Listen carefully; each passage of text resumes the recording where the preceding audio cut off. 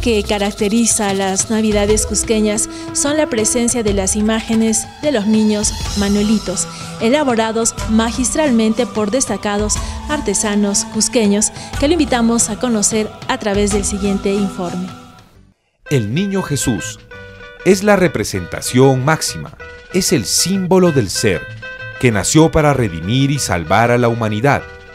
Y en nuestra costumbre tradicional, resalta ese sincretismo religioso con lo andino. En el Cusco, cuna de una cultura sin par, en esta celebración de la Navidad se manifiestan estas costumbres y tradiciones. Vemos a nuestros artistas, a nuestros artesanos, preparando al niño Manuelito, al niño de la espina, al niño del sueño, al niño Hualtado, nombres inspirados por sus artistas. Patrimonio, para mostrarles un poco de lo nuestro, ha visitado a dos grandes maestros, a don Antonio Olave Palomino y a don Abraham Ayer, un arte y dos estilos. A don Antonio Olave, conocido a nivel mundial por sus excelentes obras de arte. Lo encontramos en su taller y conversamos con él. El maestro nos comenta pasajes de su vida a medida que va trabajando sus niños. Bastante hemos luchado, hemos trabajado juntamente con los peinados artistas, como familia Palomino, familia Bejas y otros. Eh, también Rojas, por supuesto, también con sus famosas máscaras y danzas folclóricas de estilo reclamo. Y así cada uno tiene su estilo de trabajar para servir a nuestro pueblo dentro de nuestra cultura. Tengo trabajado esta casona, este estilo, desde 1946. Ya cuando ya vivía acá cuatro años trabajando, llegó el terremoto 50. Y después de 50, en fin, seguí trabajando, seguí trabajando sin pensar, sin pensar ni siquiera, ni, ni soñar siquiera que iba a ser más tarde de la familia Olave. Bueno, es muy servicial este maguey y muchos restauraciones, épocas coloniales, trabajos, siempre he encontrado este material. Entonces no hay más otra cosa que continuar ese mismo uh, material, utilizar. Sobre este revestido con uh, pasta de arroz, parte encima, bonito, para que se vea acabado. Sí, estamos en el trabajo.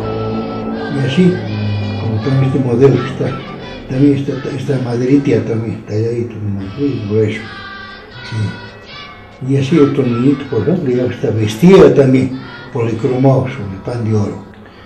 Y así en toda forma, en todo estilo, trabajamos eh, niños manuelitos. Dándoles forma y el acabado necesario, pero en esta tarea no solo trabaja don Antonio, sino también la esposa, la señora Abelina Rupa de Olave, encargada de vestir a los niños con trajes clásicos o ropitas andinas para ser exhibidos en el Museo de Don Antonio Olave y ser expuestos en la famosa Feria de Navidad, Santuranticui. El otro estilo es el de Don Abraham Ayer, conocido también internacionalmente Veamos cómo trabaja ayer. En este momento yo son los momentos finales de mi trabajo porque en este tiempo nosotros lo que hacemos es continuar con el acabado de detalles, el final de cada obra. Esta obra, por ejemplo, es, representa a un niño con el mundo, ¿no? Va a ir agarrando el mundo y va a ser revestido con con tela encolada. Es parte, es parte de un proceso de trabajo. No es que yo saque de moldes, por supuesto que se sacan moldes para hacer diferentes obras. caso de que haya pedidos en grandes, ¿no? pero también hay obras originales, inéditas. Eso es, esta por ejemplo es una obra original, no va a tener copia. Esta obra está hecha enteramente en madera maguey, así como este otro trabajo, es otro cuerpo. Y acá también tengo otro cuerpo que va a ser así. Este va a ser un ángel, pero también utilizo acá, por ejemplo, este cuerpo es de un niño. A esta, a esta, a este, a esta, matriz le he hecho estas líneas con el fin de sacarle una copia. Yo voy a sacar copia y un molde, voy a cancelar la obra en, moldes de, dos piezas y va a salir un, molde y de ahí voy a sacar copias. Este representa, por ejemplo, al niño, al, niño rey. Es un niñito que estoy haciendo también niño rey. Para hacer los ojitos utilizo el cristal, los cristales, ojos de cristal. Internamente yo le pongo un paladar de cristal. Entonces eso voy pegando y por atrás le pinto los ojitos. Por la, parte de atrás le coloco y adhiero la lengüita y así. Todo esto está hecho en piezas, no es una sola pieza entera, no son piezas, por ejemplo el brazo es otra pieza, este brazo es otra pieza, el pie es otra pieza, así. Entonces toda su, partecita de ahí son detalles, ¿no? Las orejitas también lo hago ya esto a mano con mis estecas, y los rostros también lo voy avanzando.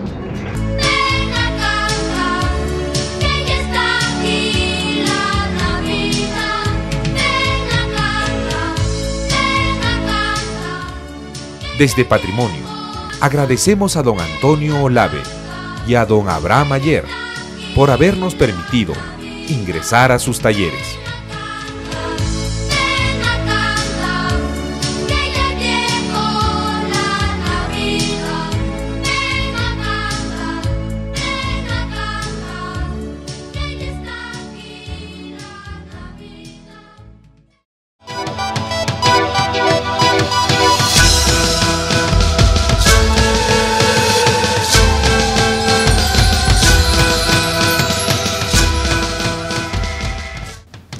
En los siguientes minutos los invitamos a disfrutar de un informe especial de la Feria del Santuranticul, declarada también Patrimonio Cultural de la Nación, donde año a año se exhiben y se exponen innumerables trabajos de nuestros destacados artistas cusqueños.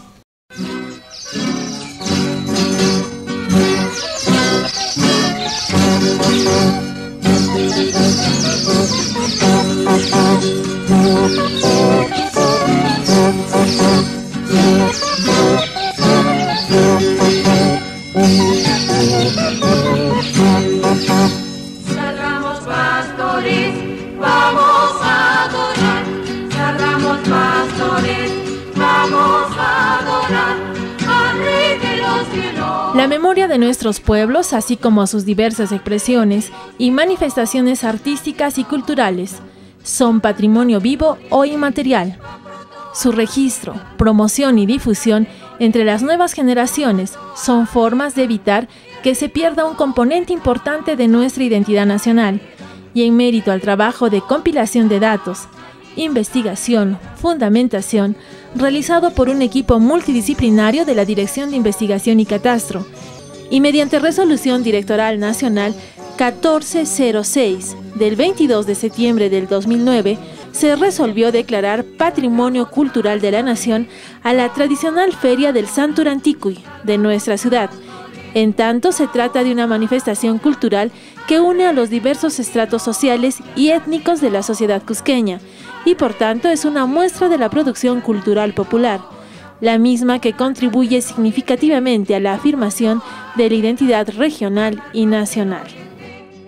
El Santuranticuy es una de las expresiones más llamativas que haya dejado el catolicismo en la región andina. Se trata de una feria temporal de imágenes religiosas. Etimológicamente, Santuranticuy quiere decir compra de santos, elaborados por artesanos de sectores indígenas y mestizos.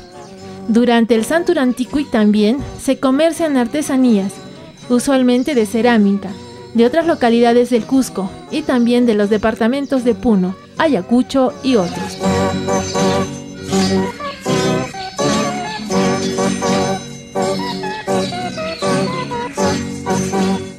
Es un regalo que le hacemos a nuestra ciudad del Cusco. ¿No? al Santurantico, porque yo pienso que el Santurantico es la máxima expresión que nosotros los artesanos tenemos en el Cusco, la máxima fiesta. Y nos preparamos durante un año ¿no? para ofrecerle este tipo de regalo a nuestra ciudad. ¿no? Yo pienso que ahora, San Blas, nosotros somos del barrio de San Blas, ¿no? San Blas, para nosotros los de San Blas es un orgullo estar en este atrio, para nosotros es una fiesta grande, la más grande que, puede haber en el arte. Es el museo vivo de nosotros. Por eso es que estamos acá. Nosotros eh, utilizamos todo en plata. Somos los primeros en darle el vestido a las imágenes en plata. Acá entran todas las técnicas de la platería. Entra la técnica del laminado. Hay que laminar primero la plancha. Después hay que hacer el diseño después hay que, hay que cincelar, después del cincelado el repujado y después todos, eh, todo trabajo de, ¿qué se llama? En alto relieve, trabajas, termina siempre con el cincelado también. Después se le da el brillo, el acabado, ¿no? Y queda la pieza, como usted ve. No se han encontrado aún datos que establezcan en qué épocas aparece la Feria de Imágenes Religiosas en la ciudad del Cusco, conocida hoy como Santuranticuy pero la misma es consecuencia evidente de todo el contexto histórico y cultural. Según el doctor Ángel Avendaño, la costumbre se inicia con la introducción del culto al niño Jesús por la orden betlemita, que también impulsó la elaboración de las imágenes por los artesanos locales, mientras la orden franciscana, que había establecido la costumbre del nacimiento en el mundo cristiano, la impuso igualmente en el Cusco, todo esto puede haberse concretado ya a finales del siglo XVII. En todo caso, la primera mención del Santur Antiqui como compra de santos data de 1835. Esta feria se realiza durante la Natividad que se inicia el 24 de diciembre y termina en la Pascua de Reyes. El protagonista del Santur Antiqui es la imagen del niño Manuelito, alrededor del cual se arma todo un escenario con accesorios diversos, originalmente denominado Misterio, escenificación de la Natividad con sus personajes básicos, motivo principal de esta feria. En el Santur y se venden adornos en plata, vestidos que han de ser puestos a la imagen del niño, uno nuevo, porque los del año anterior se supone que ya le quedan chicos. Otros elementos que conforman el escenario para el niño son plantas recién germinadas, miniaturas de portales, de pesebres, de camas o cunas y por supuesto las imágenes de los personajes del nacimiento, la Virgen, San José, los Reyes Magos, los pastores y sus animales. Este año en sí nos están dando un valor más, un pequeño incentivo más para poder sacar nuestras obras, ¿eh? nuestras obras. A pesar que yo en anteriores años he participado no con este mismo ímpetu, no había visto no en realidad el, el disfrute de ver que una obra mía sea premiada a pesar que hago estas obras, ¿no? De mí mis obras en realidad son obras que los he recreado dentro de, del arte de, mm, europeo, algo de lo románico, pero dentro de eso también pongo un estilo propio, recuperando bastante de lo que ha sido las obras coloniales, el texturado, por ejemplo, el brocado, el esgrafiado, el dorado en oro, eh, y, así, diferentes obras, pero también dentro de ello aplico todo lo que es mis propios conocimientos, mi propia inspiración. El Santur y como manifestación tradicional se ha convertido en uno de los elementos que encausan la identidad del Cusco, aunque se trate de una costumbre regional que incluye el espacio rural.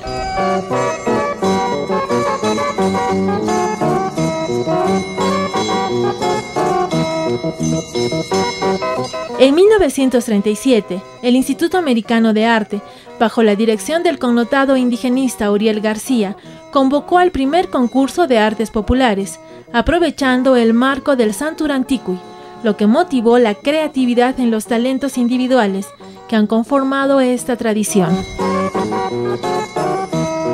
El Santuranticui es una manifestación cultural tradicional, popular, funcional, plástica, es decir, se adapta a los tiempos y rica en iconografía y en líneas artesanales, de las cuales destaca por derecho propio la imaginería. Participan en ella los más reconocidos artesanos provenientes del barrio de San Blas, muchos de los cuales han impreso un estilo peculiar en sus obras de arte.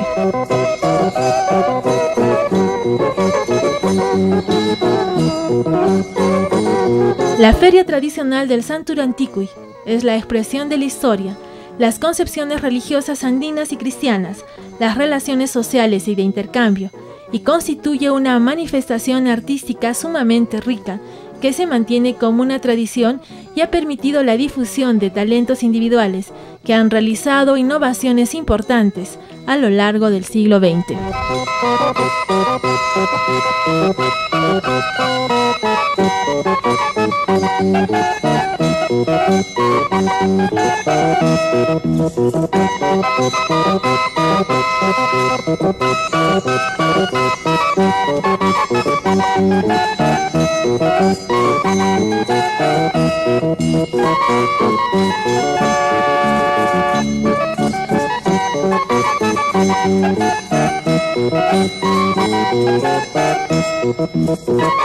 Por todas las consideraciones señaladas en el presente informe y de conformidad con lo dispuesto por la Ley 28296, Ley General del Patrimonio Cultural de la Nación, ahora la Feria Tradicional del Santur Antiqui es Patrimonio Cultural de la Nación y por su naturaleza pertenece a todos los peruanos. En consecuencia, el Estado y la sociedad civil tenemos el deber de proteger este nuestro patrimonio que nos consolida como nación.